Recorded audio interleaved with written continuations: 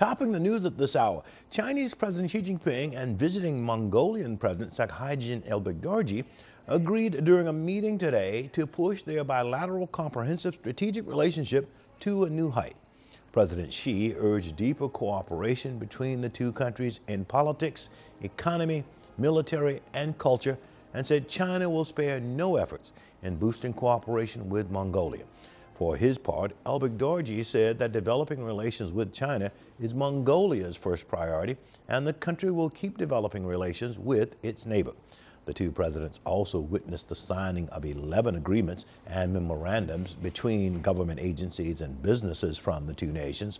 The documents covered areas of economic and technological cooperation, bank loans for Mongolia to buy Chinese commodities, and energy projects.